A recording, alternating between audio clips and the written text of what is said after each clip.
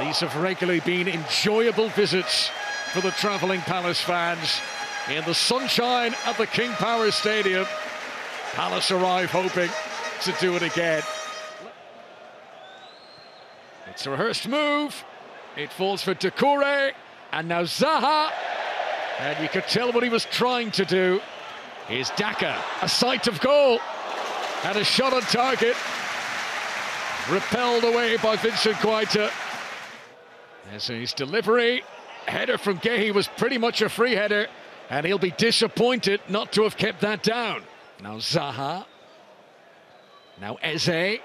Just a little pocket of space, and it's not too far over the top at all from Eberechi Eze.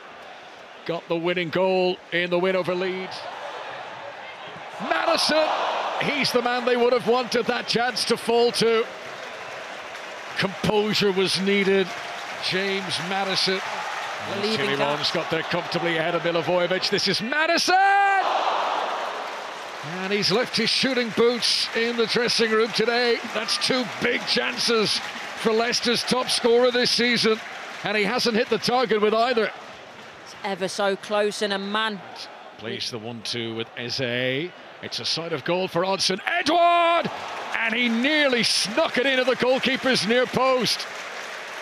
First proper save that Danny Ward has had to make today. Nice touch from Castagna. Maddison. Second bite to the cherry. This time it was on target. Found Castagna now. He's been making some great run forwards all, all game, but find him there. A lovely little flick round the corner. and Vardy around Andersen. Down goes Maddison. Free kick. Referee sees that as a dive. Yellow card for simulation for James Maddison. Big figure absent, making life difficult for Brendan Rodgers. There's the full-time whistle. Boos echo around the stadium. And final score of the King Power. Leicester City nil, Crystal Palace nil.